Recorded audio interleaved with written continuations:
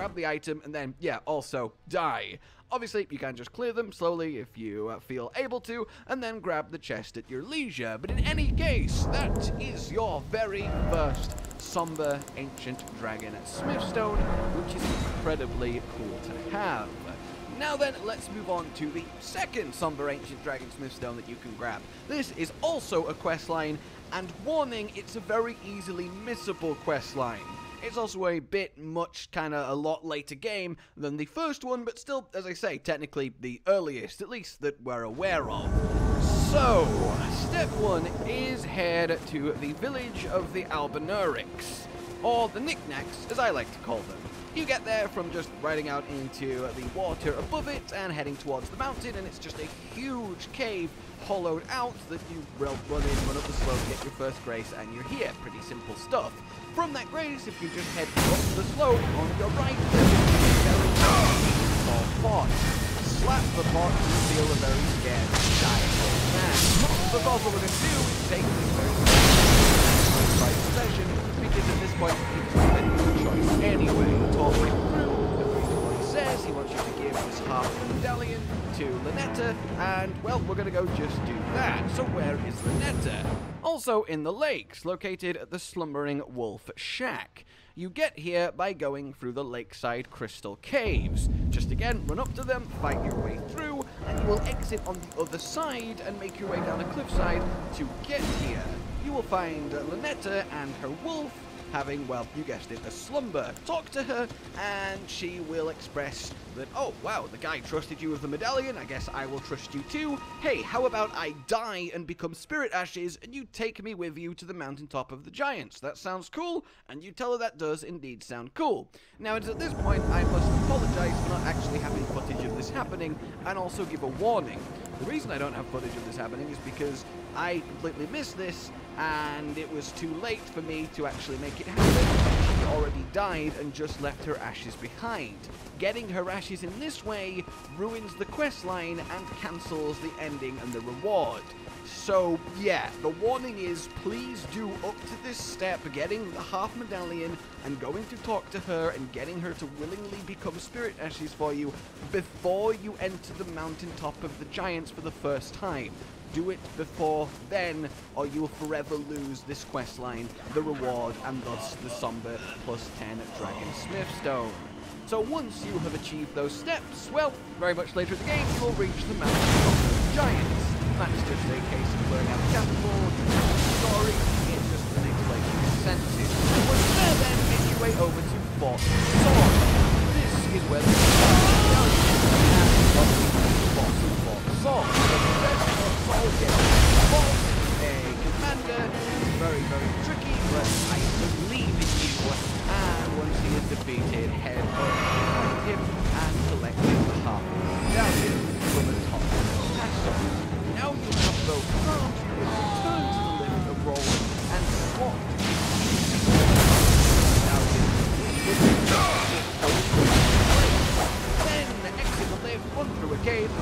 side, and to the consecrated stone. You can get the map from this location here, just a little run through well, let's see what the very corner, where church. If you've the correctly and have the willingly given Spirit version of Latenna, will then be given a prompt. Oh, and by the way, watch out for the massive giant uh, mausoleum with its turret bombardment that it feels like it needs to do around the area because it's brutal. But once you get in there, you'll see there is quite the uh, giant uh, slumped against the wall. If you walk up to her and you've done it correctly, there will be an option to summon Latenna and then she'll have a chat. The reward then for this moment, for bringing her here, for summoning her here and have a chat with him first to an almighty. Today I want to share with you the location of the running and legwork quest. A quick rundown. Either talk to the guy Church of the Rose, fall into the Church of the Rose in Liurnia and have a chat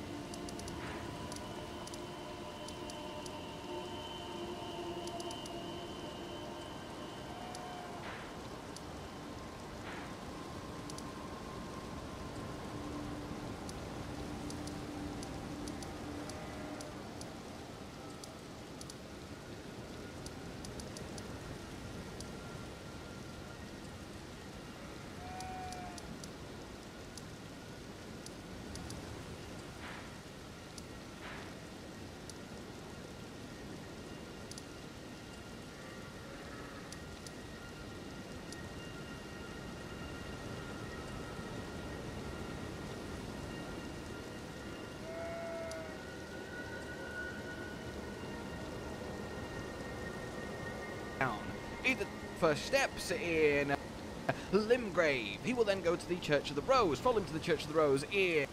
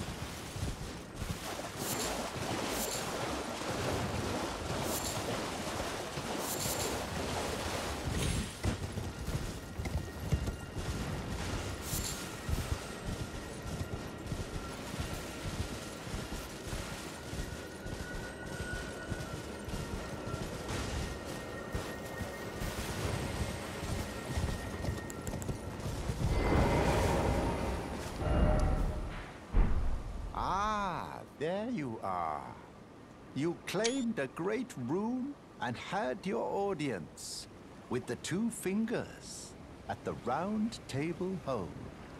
What was your impression?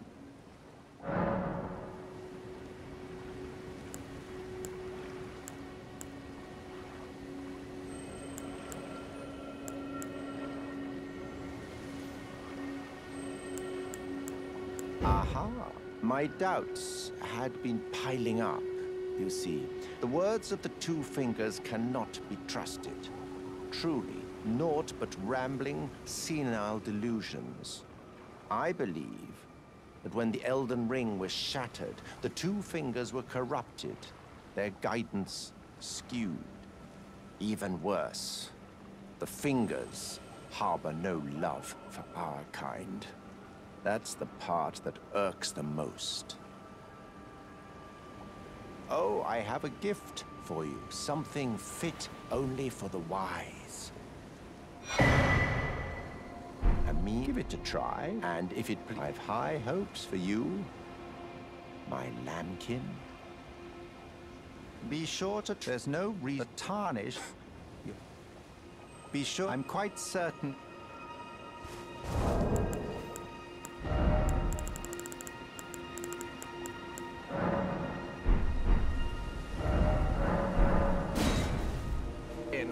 and have a chat with him. Agree positively with everything he says every time, he'll give you three blooded fingers. You then use those blooded fingers to go do three invasions. Kill them, get ganked, disconnect, doesn't matter. Three invasions. Go